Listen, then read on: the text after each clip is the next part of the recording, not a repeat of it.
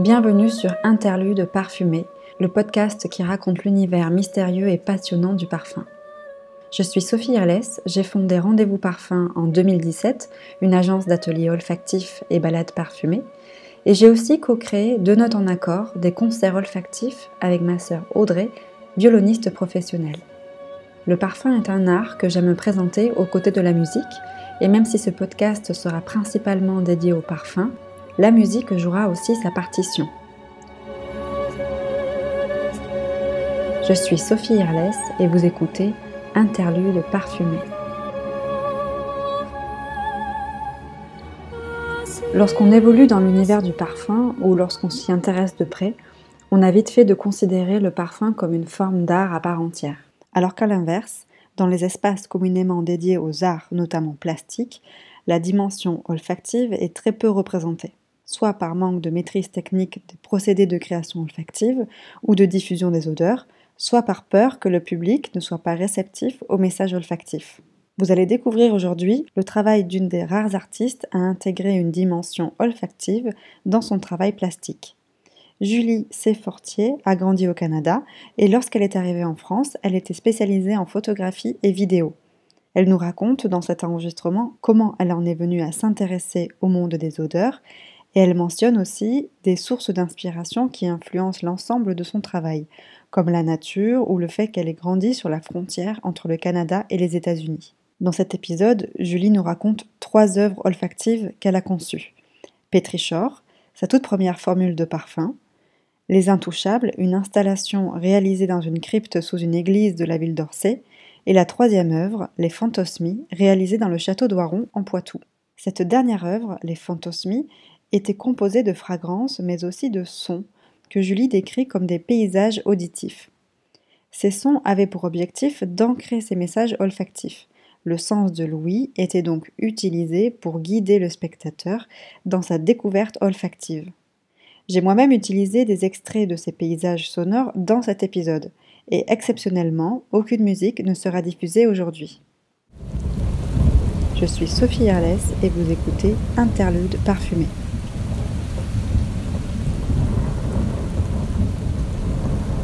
La particularité de la région euh, d'où je viens au Québec, c'est que c'est une région frontalière avec les États-Unis. Et ça, je le mentionne parce que c'est un aspect qui est important euh, dans mon travail, cette question de la frontière et, qui, je pense, inconsciemment a joué euh, un rôle important dans, mon intérêt par rapport par rapport aux odeurs. Donc, c'est une région, en fait, qui s'est construite à cheval sur, euh, sur la frontière avec les États-Unis et avec tous les récits qui s'en sont euh, suivis, avec euh, toutes les récits de contrebande, d'abord d'alcool, en fait, parce qu'il y avait beaucoup de d'hôtels, de bars qui étaient construits sur la frontière américaine et canadienne.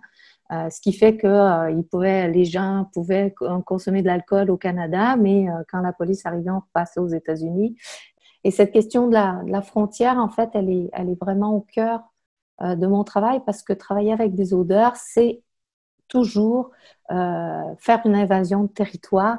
C'est vraiment des molécules chimiques qui vont pénétrer à l'intérieur, à l'intérieur du cerveau et nous transformer et euh, ramener à la surface des souvenirs presque malgré soi, euh, de manière incontrôlable.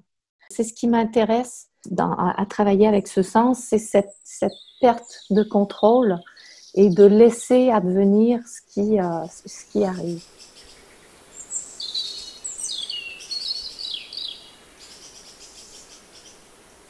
J'ai mis en place un nouveau cours à l'école où j'enseignais à l'époque, qui était l'école des, beaux-arts d'Angers.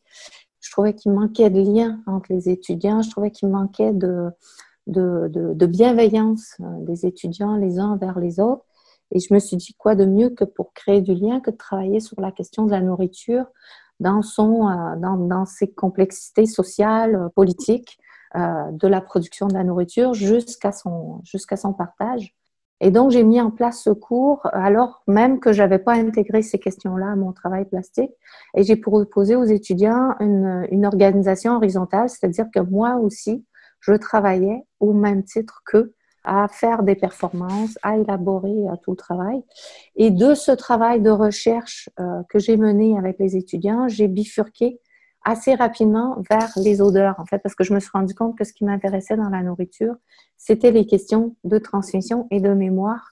Et très rapidement, en fait, je me suis rendu compte que ce qui m'intéressait le plus, c'était euh, la question de, la mémoire euh, sensorielle, de la mémoire olfactive j'ai commencé à suivre une formation euh, nez chez, euh, chez Cinquième Sens parce que je voulais être indépendante. En fait, je voulais, je voulais pas dépendre d'un parfumeur. Je voulais pas me, me trahir dans une traduction d'un souvenir pour pouvoir le traduire en, en odeur.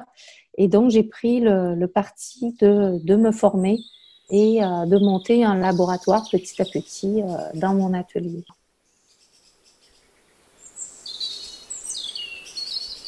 Première œuvre, Petrichor.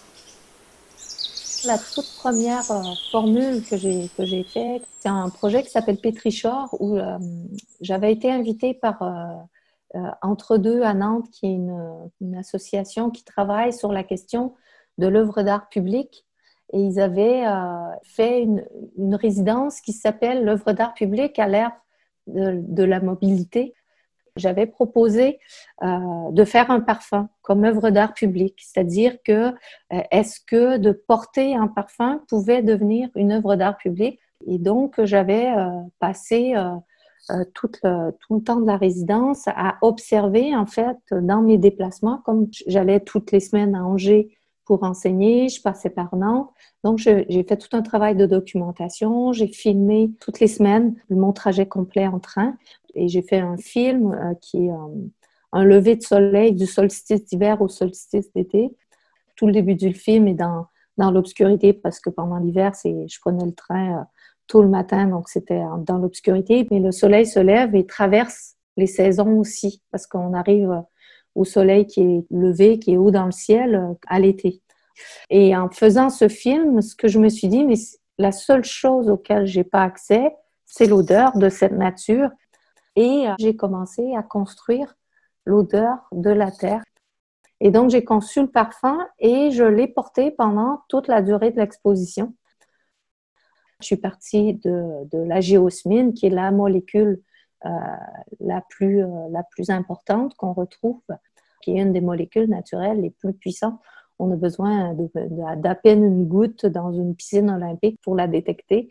J'ai vraiment essayé de construire autour de cette molécule une odeur qui soit à la fois, à la fois portable, euh, mais j'avais vraiment l'idée d'une, l'idée de la première pelletée de terre qu'on soulève au printemps quand on se remet à, à jardiner, et donc une odeur assez fraîche c'est intéressant aussi de voir comment, comment les gens reçoivent ces odeurs, en fait.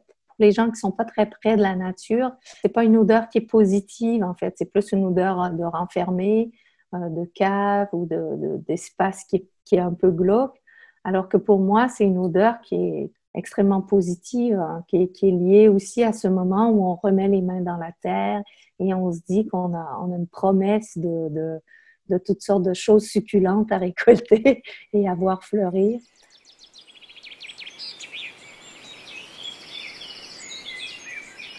Deuxième œuvre, Les Intouchables.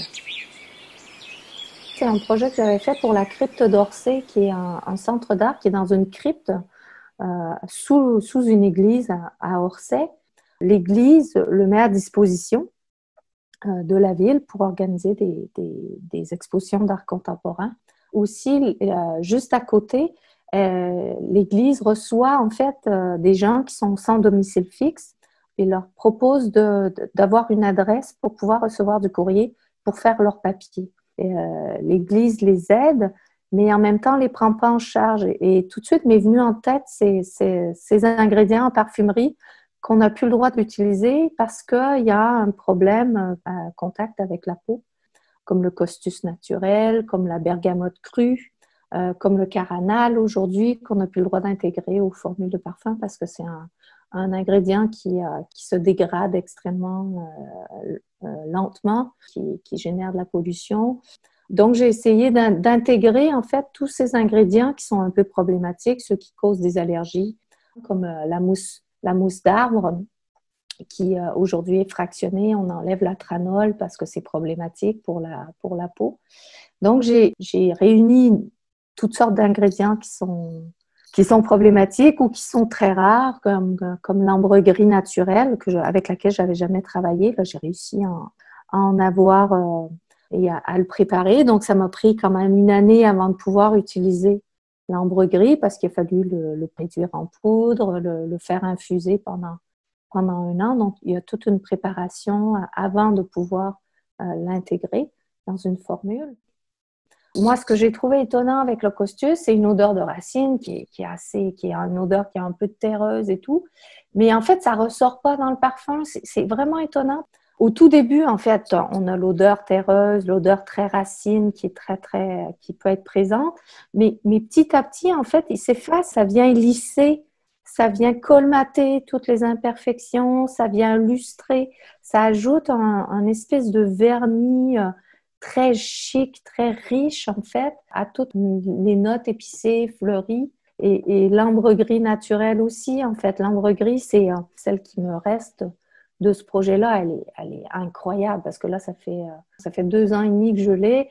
Elle est très, très riche et très douce, avec des notes presque cacaotées, alors qu'au début, elle avait des notes vraiment plus, euh, plus poisson, plus marine, qui, manquait encore d'oxydation.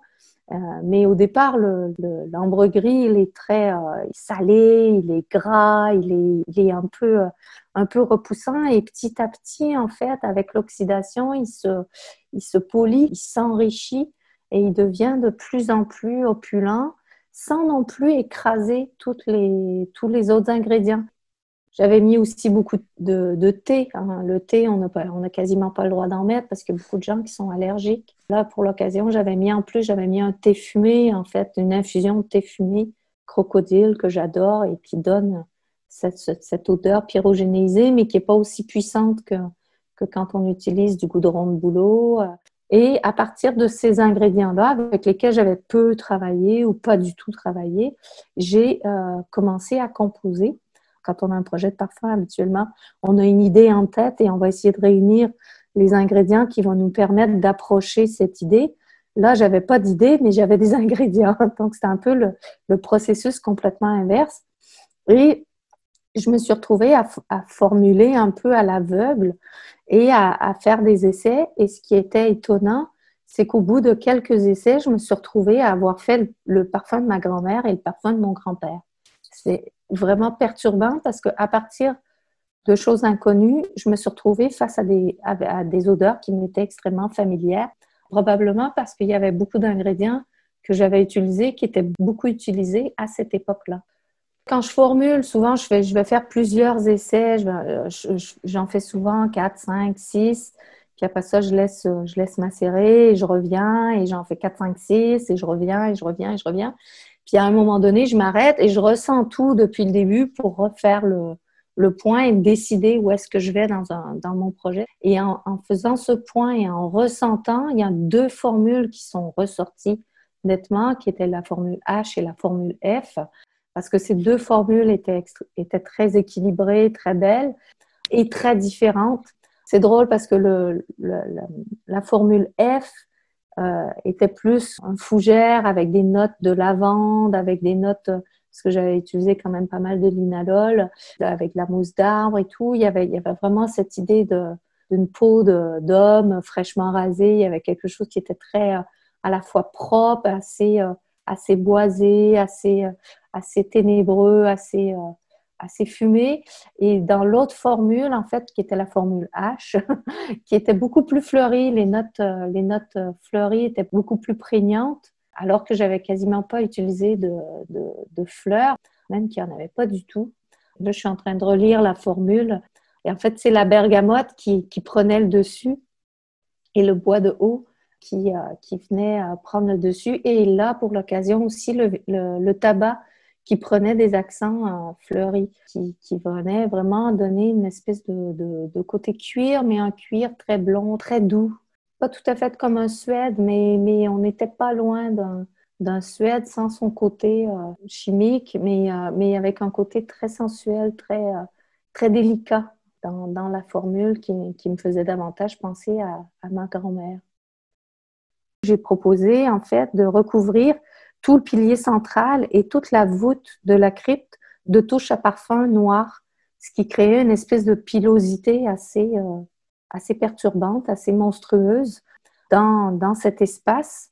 Et finalement, cette espèce de, de pilosité d'ogre ou de monstre, elle devenait extrêmement familière parce que les odeurs qui étaient diffusées étaient des odeurs euh, assez douces. Finalement, ça transformait ce, côté un peu monstrueux ou un, peu tabou de la pilosité en quelque chose d'extrêmement réconfortant, de doux. Et c'était assez, euh, assez étonnant, en fait, le, le renversement qui s'opérait euh, entre la perception visuelle et la perception euh, olfactive. Du coup, l'ogre, il se transformait un peu en, peluche. Troisième œuvre, les fantosmies. Quand j'ai été invitée à, exposer au château de Waron, c'est un château Renaissance qui a été construit par la famille Bouffier, euh, qui était le, grand écuyer du roi. C'était un château qui était, qui était déjà euh, plein d'un patrimoine architectural, culturel. Et en plus, dans le château, il y a une collection d'art contemporain qui s'appelle Curios Mirabilia, qui a été mis en place à partir des années 90 par Jean-Hubert Martin. Donc, c'est un château qui est déjà plein, plein de patrimoine, plein d'œuvres d'art contemporain. Et, et, je trouvais ça extrêmement difficile de m'immiscer dans quelque chose, euh, dans un espace qui était déjà plein. Et, du coup, j'ai voulu m'intéresser à tout ce qui était un peu périphérique au château. Et je me suis intéressée nécessairement aux femmes parce qu'on en parle très peu. Euh, Bouffier euh, a eu cinq femmes. il y a très, très peu de traces de ces femmes. Pour certaines, on n'a même pas leur date de mort. Donc, j'ai commencé à faire tout un travail de recherche sur les différentes femmes qui ont vécu dans le château. Et donc, j'en suis venue à, vouloir faire des portraits de femmes sans vouloir faire des portraits de femmes spécifiques, parce que j'avais très, très peu d'indices. Et du coup, je me suis intéressée aussi, comme le château s'est construit sur, euh, sur, près de 500 ans, donc je, je, me suis intéressée à trois époques, trois femmes, trois traits de caractère, trois âges possibles. Donc, j'ai construit trois parfums qui pourraient être le portrait de trois femmes qui déambulent dans l'espace. Et ces parfums sont diffusés dans le château avec des diffuseurs. Les parfums se comportent un peu comme des, fantômes, c'est-à-dire que suivant s'il y a beaucoup de vent, s'il fait chaud, s'il pleut, les parfums ne vont pas se nicher euh, au même endroit euh, dans, dans l'espace. Et pour accompagner ces trois, ces trois fantômes, en fait, pour signifier qu'il y avait des choses à percevoir, parce que sinon le spectateur, comme le spectateur est libre dans le château, il n'y a pas de nécessairement de médiation pour signifier qu'il y avait euh, des endroits où ils pouvaient s'arrêter. J'ai mis en place des assises et des sons qui donnaient des, paysages dans lesquels pouvaient s'inscrire les parfums. Ça donnait un ancrage. Comme il n'y avait pas d'ancrage visuel, parce que je venais m'immiscer au travers d'œuvres d'autres artistes, l'ancrage, il était plus sonore. Donc, j'ai dessiné trois paysages auditifs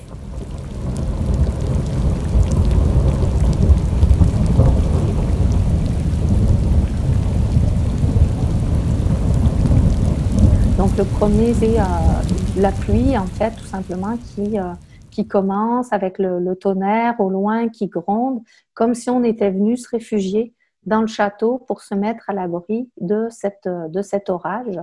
Donc, à chaque fois, les odeurs sont construites avec euh, une image de femme. Pour l'image du parfum avec le son de l'orage est construit autour d'une jeune femme qui, qui serait assez assez enjoué, avec, euh, avec des notes d'angélique, des notes de, fleurs d'oranger, construites vraiment sur un schéma d'eau de Cologne, avec des notes très fraîches, très craquantes, très innocentes et, en même temps espiègles.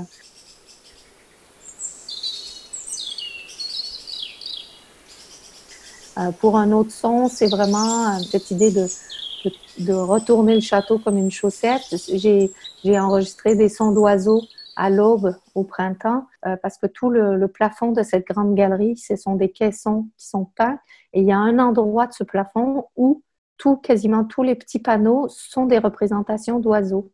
Et les sièges que j'ai dessinés, que j'ai mis à disposition du spectateur, sont des espèces de chaises longues qui nous permettent d'observer ce plafond sans se casser le cou et de pouvoir entendre ces oiseaux qu'on pourrait penser qui sont les qui est le son naturel de l'extérieur, mais qui, euh, est ramené euh, vers l'intérieur pour le, parfum qui, était construit euh, avec les sons d'oiseaux. Là, j'ai construit vraiment sur, euh, une, image de femme euh, très énergique aussi, avec, cette idée de la rose. Et, là, ça, je l'ai construit vraiment avec l'arrivée des, des, notes synthétiques fin 19e, début 20e, avec des notes de rose, de violette, avec quelque chose qui soit assez tourbillonnant, qui soit assez, assez fusant dans la manière d'associer les notes avec des notes vertes, très boisées aussi.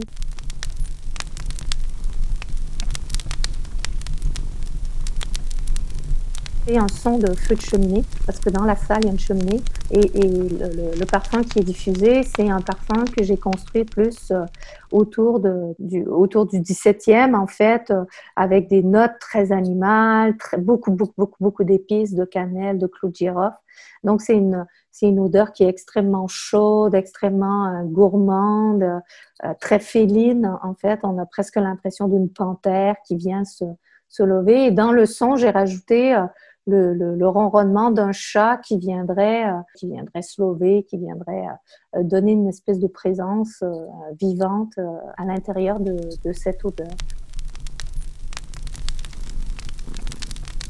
Je tiens à remercier chaleureusement Julie Sefortier pour ce très joli récit. Lorsque j'ai rencontré Julie, je travaillais encore à l'Osmothèque de Versailles. Elle m'avait invité à venir découvrir une de ses œuvres nommée La chasse. C'était la première fois que je voyais des touches à parfum jouer un rôle esthétique dans la présentation olfactive. Il y avait des centaines de touches disposées sur le mur de façon à former comme un nuage blanc. Et lorsqu'on s'approchait, on pouvait découvrir la dimension olfactive de l'installation, avec des odeurs d'herbes coupées, suivies d'odeurs très animales, pour finir sur des odeurs métalliques qui évoquaient l'odeur du sang.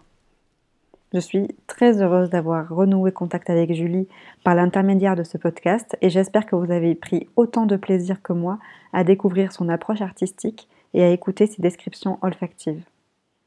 Pour suivre son travail et assister à ces événements, vous pouvez vous rendre sur son site internet juliecfortier.net ou sur son compte Instagram Julie Ces liens sont disponibles dans la description de l'épisode. Si vous avez apprécié l'épisode de ce podcast et que vous souhaitez le soutenir, la meilleure façon est de mettre 5 étoiles et un commentaire sur votre plateforme d'écoute. Merci et à bientôt.